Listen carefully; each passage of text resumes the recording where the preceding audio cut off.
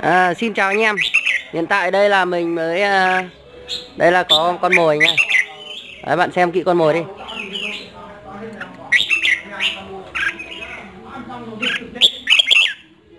Đấy, mồi đây.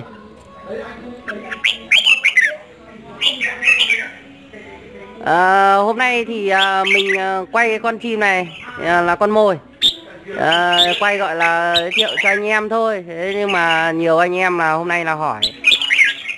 Mình gọi điện cho mình nhiều quá về cái con chim ờ, con chim ờ, mộc của mình mà mình nhốt ở hôm clip số 3 hôm trước ấy. Đấy thì à, nói chung là à, cái con đấy thì mình không bán đâu. Đấy tí nữa là anh em muốn chiêm ngưỡng lại thì mình sẽ quay lại cho anh em. Với hai nữa là có một số anh em là hỏi về cái cây dâu của mình đấy hỏi hỏi hỏi cây dâu đấy là uh, nó ra quả rất nhiều rồi nhưng mà thực ra mình cũng không bán đâu. Thôi tí mình quay lại cho anh em chiêm ngưỡng nhá. Đấy thì đây đây là có một con mồi này. Đấy, đấy các bạn xem kỹ con mồi này của ông anh mình này đấy.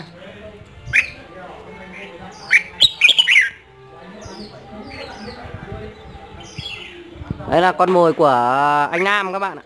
Đấy vừa mới đi đánh về sáng nay anh đi đánh bổi về các bạn nhé Đấy à, Đây các bạn ơi. Đây là anh Nam nhá. Đấy anh Nam mọi lần là, là bán chim cho anh em ấy. Đấy đây là con mồi của anh ấy đấy. Thấy chưa các bạn thấy hot ác không? Đấy. Đấy hot ác chưa? Đấy hôm nay là anh đến nhà mình là dạy chim thôi. Đấy là vừa lại là anh hôm nay đi đánh uh, sáng sáng à. Ờ, ờ. Ờ móm, vâng đấy. Đây là các bạn xem nhìn này, con bộ nó to nó hót như này cơ mà. Chim nào xuống chả đứt. Ngay. Đấy nhưng mà hôm nay là mùa có mùa khó đánh đấy, đấy con chim này các bạn xem này, nổ chọc choác luôn. Đấy. Tình hình là anh không bán mồi đúng không?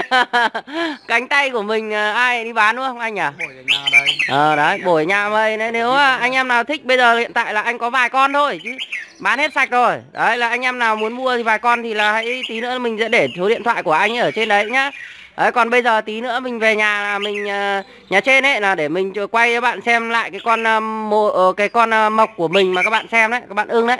Nhá, à, vì nhiều anh em hỏi lắm nhưng mà mình không bán với hai nữa xem cái dâu. Thế nhá anh em chào các bạn nhá, để tí nữa lên xem nhá. À, các bạn ạ, trước khi về trên nhà thì hôm nay mình uh, giới thiệu luôn đây dưới xưởng nhà mình đây, chú mình đang coi như là vót cái nan này ra. Vót nan ra đây không phải là vót lan để dùng luôn đâu nhá. Đấy.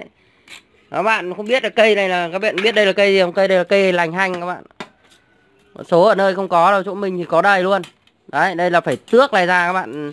Coi như là lột lột cái bụng này đi. Cái bụng này coi như là vứt đi không làm gì. Chỉ có bây giờ là phơi khô làm đóm điếc thứ gì thì các ờ, chú hút thuốc lào thôi. Đấy còn đây là cái uh, lành hanh đấy đang vót ra. Vót ra và để làm gì các bạn? Đây lan nhà mình đây và vanh điếc thứ mình uốn mình để các bếp đây các bạn nhá. Đây này đấy, đây. Các cái lan này, các thứ là vót ra để phơi. Bây giờ là, bây giờ các cái này là để làm vanh, làm những thứ đen xì đây này, các bạn này. Đấy, mà vót ra phơi rồi, đúng không? Xong là vẫn phải phải rửa qua nước đi thì là có thể là dính nước. Thì là có thể là một số cái lồng nó sẽ vẫn bị mốc. Bởi vì sao? Bởi vì là khi nó đen xì như này rồi, vót ra nhưng mà vẫn phải đi rửa đi đã, thì mới làm được, đúng không? Thế nên là nó cũng có thể hơi mốc, nhưng mà anh em về cho lớp dầu vào nữa, thôi nó càng xuống màu luôn. Đấy đây này nhà mình là toàn làm để các cái uh, này ở trên trên trên các bếp này này. Đấy. Đấy cả nan cả những các thứ luôn nhá các bạn nhá. Đây một số là lan đen xì rồi. Thế nhưng mà mình cái dùng các cái lan này này. Dùng một số cái lan này ấy, thì là để coi như làm gì? Để như kiểu là một số cái là, cái lồng mà ví dụ lồng cũ của anh em có thể là đến có thể sửa sửa thay khi nó xuống màu rồi. Đúng không? Đây là cái nan nhá. Đấy là vót sẵn nan là cũng để một số ở trên đây là lan toàn nan nan đen xì rồi. Đấy. Đây vót này ra chỉ là lấy mỗi cái cái cái cái cái cái cái cái cái cái cật này thôi các bạn nhé. Đây là anh Nam nhìn này. Đấy. Đấy có cả anh Nam đây nhá. Bao các loại muối mọt luôn. Đấy.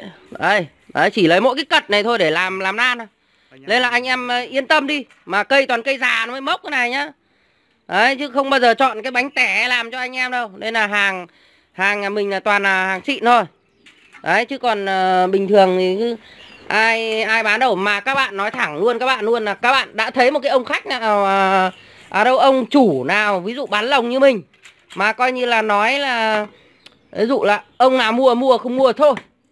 Đấy thế thôi lên là sao? Vì sao? Bởi vì là lồng của nhà tôi chất lượng rồi. Nên là tôi không cần phải giải thích nhiều cho anh em làm gì cả. Mua mua không mua thôi. Tôi cũng chẳng sợ. Đấy lên là là là làm chất lượng nó phải thế nhá còn mà nếu mà ông làm đẻo ông mong bán được lồng thì thôi còn đâu tôi không cần thiết. Đấy. Đấy nhá thôi anh em ờ, xem phốt lan em nhá để bây giờ mình lên chuẩn bị lên trên nhà trên đây và mình ờ, quay con chim kia và cây dâu cho các bạn xem. Đỡ phải hỏi. Đây thưa các bạn. À, con chim mà các bạn à, hỏi đây. Rất nhiều anh em đây anh em xem kỹ nhá. Đấy cái con thứ ba này là của mình mà người ta hỏi đấy con mộc này thì mình đánh được 3 tháng rồi. Đấy bên này quay kỹ lại cho anh em xem. Đấy nhìn đi.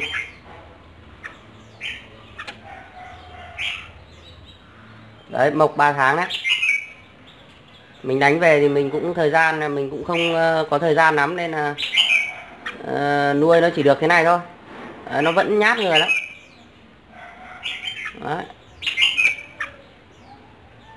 đây là chim mộc nhá. Anh em vào nếu mà uh, ấy nhưng mà mình nói thật với các bạn là con này thì mình không không bán đâu.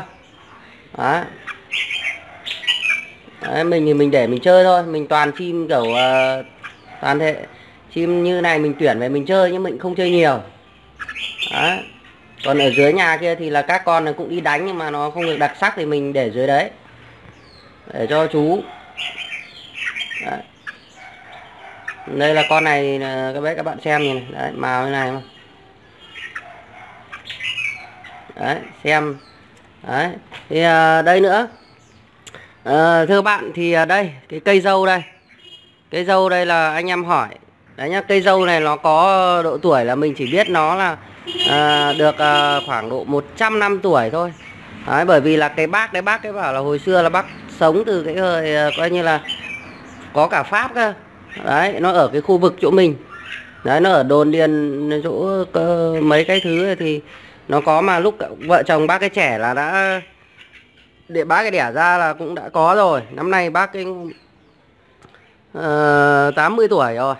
Đấy thì bác cái uh, cho mình cái cây dâu này. Đấy mình đi đánh. Uh, cũng như cái clip đợt trước rồi đấy. Đấy đây là ừ, chùm quả của nó nhá. Đấy rất là sai rất là màu đỏ rất là đẹp đấy, gốc rễ đây là của nó là gốc, ba gốc các bạn. Đây, gốc đây mà lũa của nó như này. Đấy, cái cây dâu dâu rất là đặc biệt. Đấy, thì là mình làm cái cây dâu này là mình làm toàn bộ chỗ mình để cho nó đẹp. Ngoài dâu ra thì mình có các cái cây sim cảnh, sim kia các thứ rồi cây bonsai, hoa lan đây này. Đấy, các bạn ạ. Đấy, đây là còn mấy con chim này mình treo.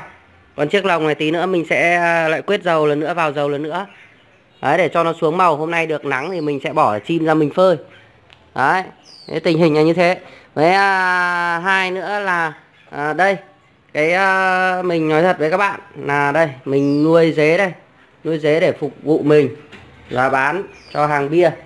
Đấy nó ăn khế đây này anh em này đấy rất là nhiều luôn. Lại chuẩn bị có mùa dế thu hoạch mùa dế rồi.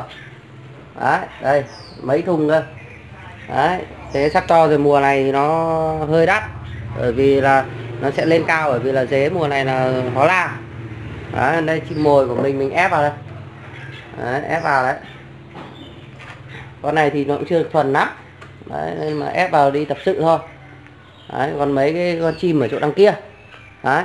Thôi thì à, đấy mình chỉ giới thiệu cho anh em đến à, vậy thôi nhá. Đấy là cái cây dâu này là nó như thế. Với hai nữa là nhiều anh em hỏi cái cái cái con chim này quá thế nhá anh em nhá. Thôi xin chào tất cả anh em. Mình kết thúc clip ở đây. Đấy à, mong anh em nhớ ấy ủng hộ đăng ký kênh của mình phát triển nhiều hơn nữa nhá.